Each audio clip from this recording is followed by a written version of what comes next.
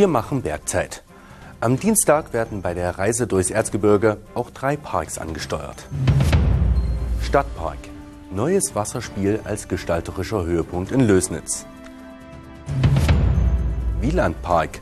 Grün und Infos statt Stromfabrik in Auerbach. Fuhrpark. Oldtimer und mehr beim RVE Backstage Event in Aue.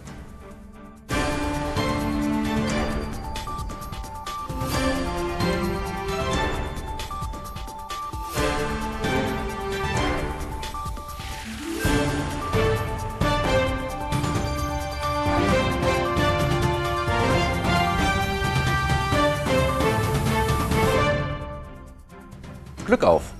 Wir haben Dienstag in der Woche mit Christi Himmelfahrt am Donnerstag. Ausgewählte Veranstaltungs- und Ausflugstipps gibt es heute und morgen in der Bergzeit.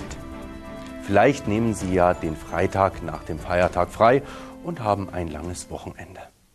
Mehrere Behörden, wie zum Beispiel das Landratsamt Erzgebirge, nutzen den Brückentag und haben keinen regulären Dienstbetrieb, sondern geschlossen. Deswegen gilt, wo auch immer Sie am Freitag etwas zu erledigen haben, besser vorher nachfragen, ob auch geöffnet ist.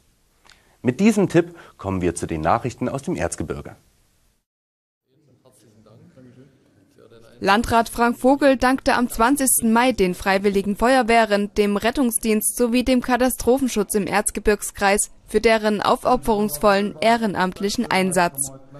Anlass war eine jährliche Verleihung von Ehrenzeichen in den Stufen Bronze für den 10-Jährigen, Silber für den 25-Jährigen, Gold für den 40-Jährigen sowie Gold als Sonderstufe für den 50-jährigen aktiven ehrenamtlichen Dienst.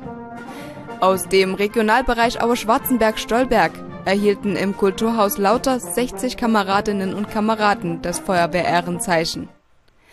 Am 4. Juni werden noch 110 Kameradinnen und Kameraden aus dem Regionalbereich Annaberg Mittleres Erzgebirge in der Stadthalle Marienberg das Feuerwehr-Ehrenzeichen überreicht bekommen. Wir werden noch ausführlich berichten. In Schwarzenberg verändert sich der derzeit bisher bekannte Anblick des Bereichs gegenüber der Stadtschule wesentlich.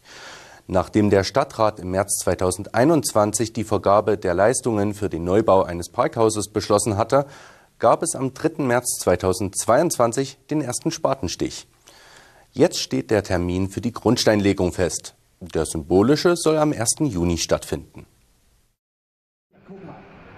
Viel in Bewegung war am vergangenen Sonnabend bei der Regionalverkehr Erzgebirge GmbH in Aue. Das Unternehmen hatte zum RVE Backstage Event eingeladen.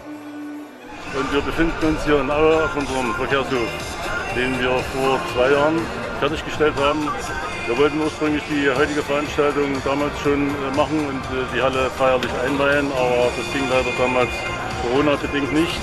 Da haben wir gedacht, machen wir das nächste Jahr, aber letztes Jahr ging es auch noch nicht. Aber heute funktioniert es und wir freuen uns riesig, dass wir heute die Veranstaltung durchführen können, dass wir so viele Gäste haben, dass das Wetter stimmt. In der Zeit von 11 bis 15 Uhr konnte jedermann hinter die Kulissen blicken.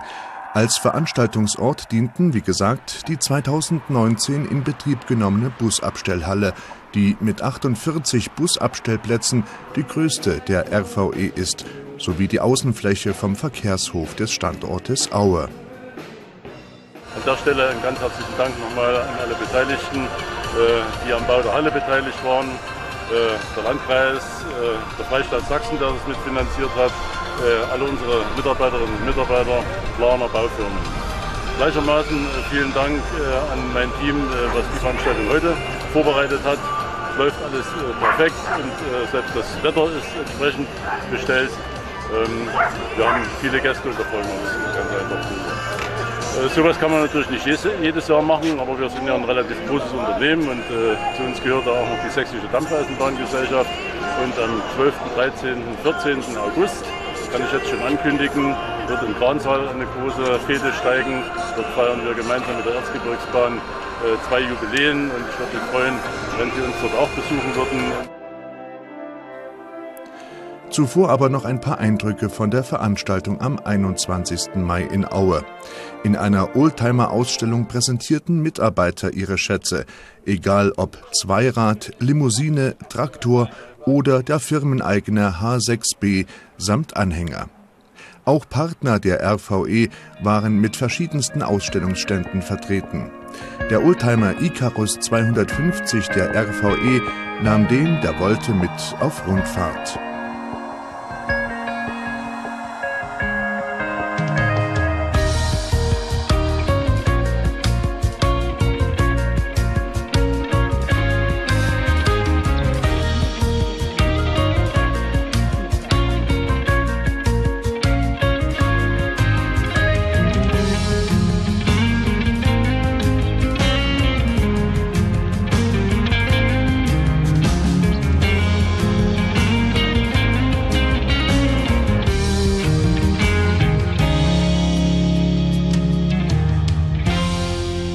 Das RVE Backstage unterstützt die Aktion Kinderherzen im Erzgebirge unter der Schirmherrschaft von Christine Matko.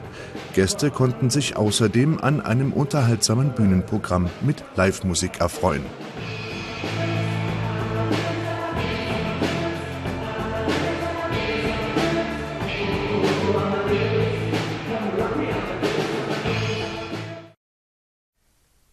Zu Wochenbeginn musste sich die Polizei im Erzgebirgskreis erneut mit dem Z-Symbol befassen. In Geier hatten das Unbekannte mit weißer Lackfarbe fünfmal an einem Wassertankanhänger aufgesprüht. Der war auf einem Feld an der alten Hummersdorfer Straße abgestellt. Wie es im Polizeibericht heißt, wurde Anzeige wegen Sachbeschädigung sowie Billigung von Straftaten im Zusammenhang mit dem Russland-Ukraine-Konflikt gestellt. Vier neue Bankgruppen für die qualitative Aufwertung von Wanderwegen in Lauter-Bernsbach und Schwarzenberg wurden noch vor dem Männertag geliefert und aufgestellt. Eine steht jetzt in Lauter an der Antonsthaler Straße am Aussichtspunkt Richtung Daniel-Christel-Gut, der Lautauer Heimatblick genannt wird. Die mit und ohne Dach und aus Holz gestalteten Sitzgelegenheiten wurden über das Förderprojekt der evangelischen Erwachsenenbildung und des Landestourismusverbandes Sachsen zur Förderung von Kleininfrastruktur im Wander- und Pilgerland beschafft. Etwa 8000 Euro wurden seitens des Freistaates Sachsen für die Realisierung der Projekte bereitgestellt. Neben den neuen Sitzgelegenheiten für Wanderer erhalten entsprechend gestaltete Informationstafeln zur besonderen Kirchengeschichte in der Region ihren Platz an den Wegen.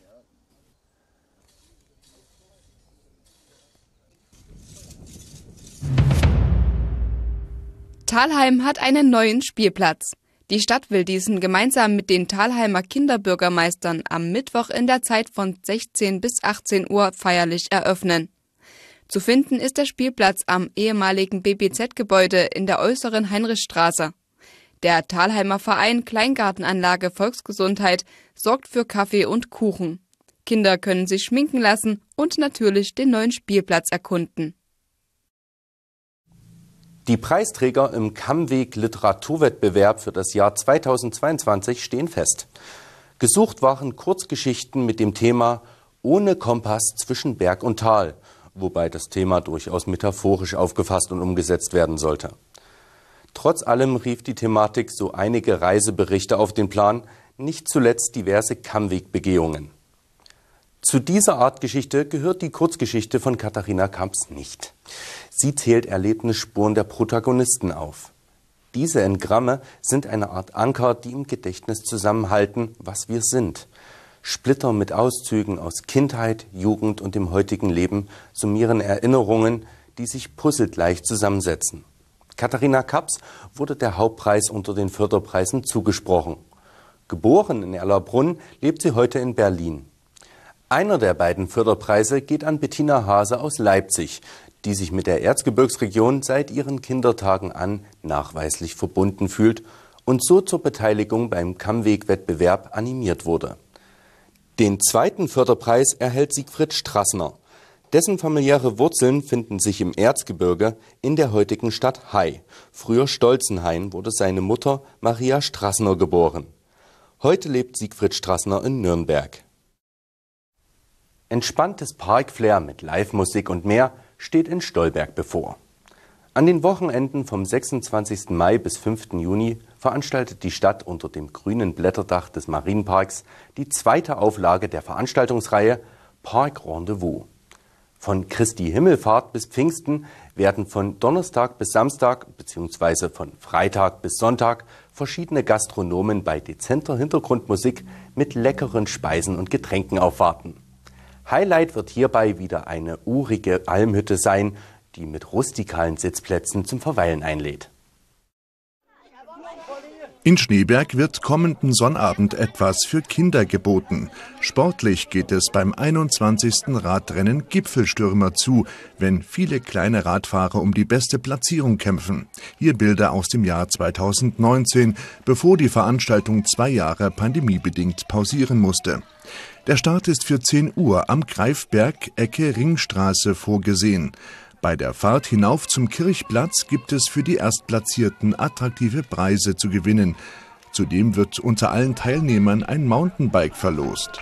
Meldeschluss ist der 25. Mai. Die Anmeldung erfolgt mit der Einverständniserklärung der Eltern. Die Siegerehrung gibt es 13 Uhr beim 24. Jahrmarkt der Kinder Halligalli. Das ist ein Kinderevent der Stadt Schneeberg und des Sportstudios Fit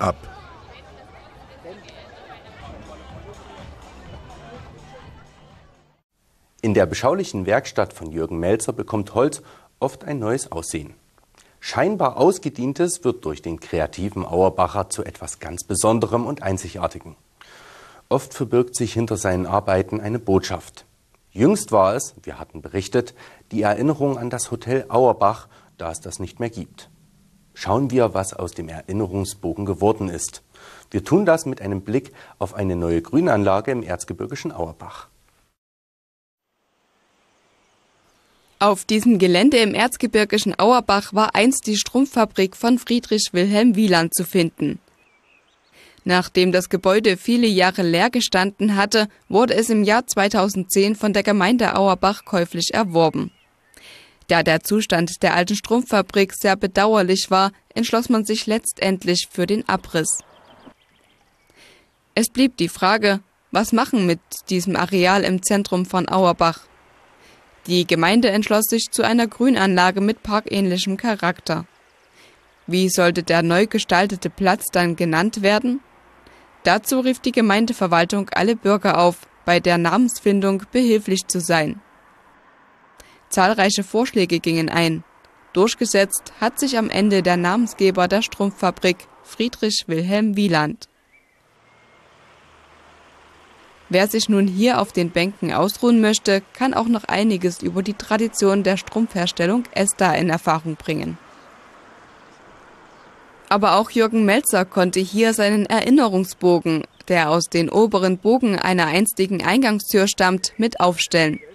Und nach zahlreichen Arbeitsstunden und einigen finanziellen Aufwendungen ist aus dem Oberlicht der Eingangstür vom Hotel Auerbach ein echter Hingucker mit Bebilderung geworden. Also die, die Bilder stammen äh, zum größten Teil von der Familie Marschner, die eine Eisdiele in Chemnitz betreibt. Die sind sozusagen die Nachfolger von der Familie Schütz. Oder die Nachfahren vielmehr, ja. Und da stammen ganz viele Bilder von, von denen und hier von Fotoflora und aus, aus Büchern und, und von Postkarten habe ich die Bilder dann bekommen ja, und den ganze, äh, diese, diese Tafel, äh, die hat die Firma Metzler gemacht und die hat nur äh, die Materialkosten berechnet.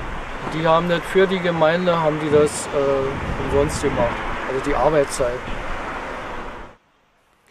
Der Aufwand hat sich gelohnt. Jürgen Melzers Erinnerung an das Hotel Auerbach wird nun viele Besucher der Grünanlage begeistern. Denn Jürgen hat viele technische Raffinessen mit eingebaut. So ist es möglich, einen kleinen Film zu schauen oder die Musikbox zum Erklingen zu bringen. Denn Bewirtung und Tanz waren im Hotel Auerbach an der Tagesordnung. Bewirtung und Tanz nehme ich mal als Stichwort. Ich hatte Freizeittipps angekündigt. Hier ist noch einer. Pünktlich zur Himmelfahrt, dem Feiertag, der sich mehr und mehr zum Familientag etabliert, startet in Annaberg-Buchholz das Freibad am Stangewald in die Saison 2022. Laut Stadtwerke Annaberg-Buchholz locken hier Wassertemperaturen von 20 Grad die Gäste zum spritzigen Vergnügen. Die Riesenrutsche ist general überholt. Der Eintritt für Kinder kostet 2,50 Euro am Tag sowie 4 Euro für Erwachsene. Spritzig wird's jetzt auch in der Bergzeit. Bernd Puttwill bringt Ihnen den neuen Springbrunnen im Lösnitzer Stadtpark etwas näher. Ein Wasserspiel im Herzen von Lösnitz.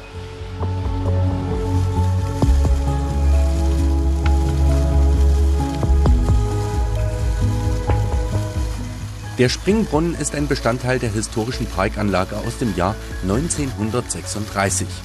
Seit dem Frühjahr 2022 sprudelt er in neuer Pracht. Der Springbrunnen liegt im Zentrum des Lösnitzer Stadtparks in der Hauptachse. Dadurch stellt das Wasserspiel einen gestalterischen Höhepunkt sowie eine Belebung dieses Parkabschnitts dar.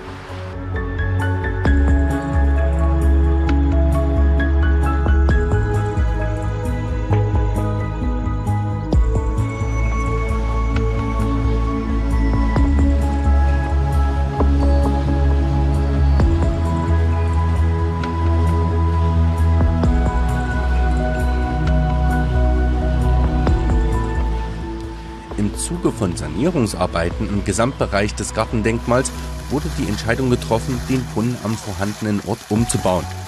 Man entschied sich für ein offenes, im Vergleich zu vorher verkleinertes Wasserbecken, das jetzt einen Durchmesser von 6 Metern mit einer Mittelfontäne von 3 Metern Höhe hat. Das Becken besteht aus wasserundurchlässigem Beton und verschwindet weitgehend im Erdreich. Der neue Beckenrand ist deutlich umgrenzt und besitzt eine niedrige steinerne Einfassung. Der Brunnenrand wurde ca. 35 cm hoch ausgeführt und erhielt ein einfaches klassisches Randprofil aus Sandstein. Er besteht aus zwölf gleich großen Sandsteinsegmenten mit ca. 1,80 Meter Außenlänge und kommt mit Wasser nicht direkt in Berührung.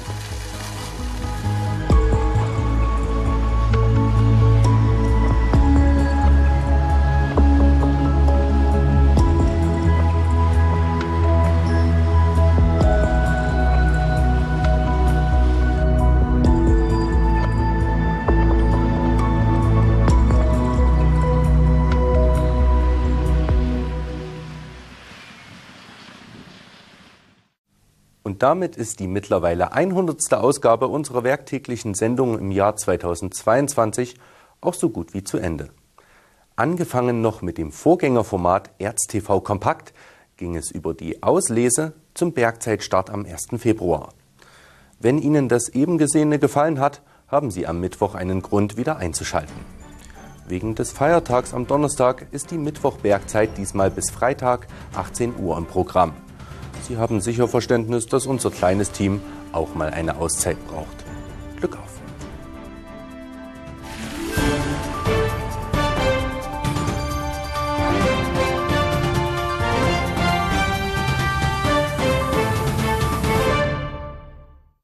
Sie sehen eine Wahlwerbesendung zur Wahl des Landrates im Erzgebirgskreis.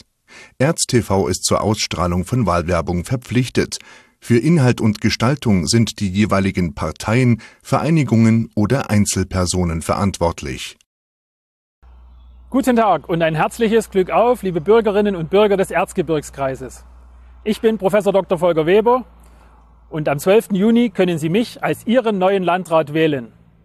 Die Erhaltung und Entwicklung unserer traditionsreichen, vielfältigen und lebenswerten Erzgebirgsregion bedeuten mir sehr viel. Deshalb bin ich seit 23 Jahren hier kommunalpolitisch aktiv, als Teil einer Bürgerinitiative und der Freien Wähler.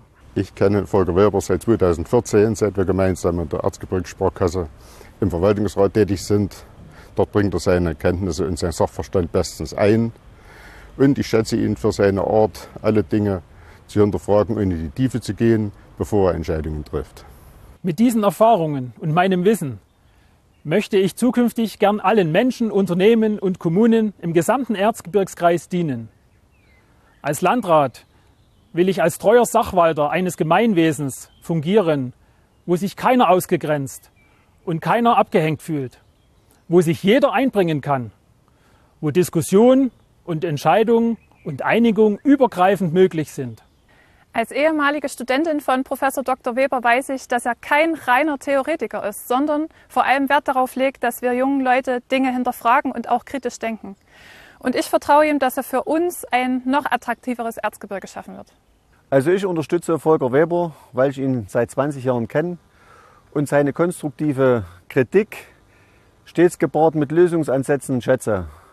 Er ist ein Typ, der nicht nur redet, sondern im Sinne der Allgemeinheit anpackt. Lassen Sie uns mit Freude und Zuversicht gemeinsam unseren Erzgebirgskreis weitergestalten. Gemeinsam zum Wir.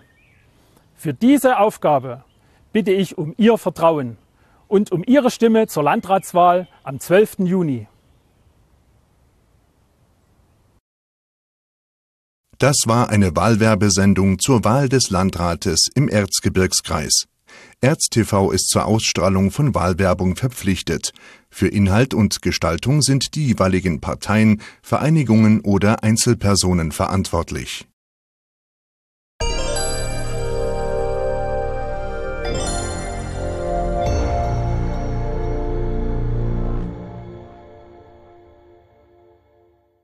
Entdecken Sie Rosaxan, wenn auch Sie zu den Menschen gehören, die unter Gelenkbeschwerden leiden und jede Bewegung schwerfällt, dann probieren Sie Rosaxan.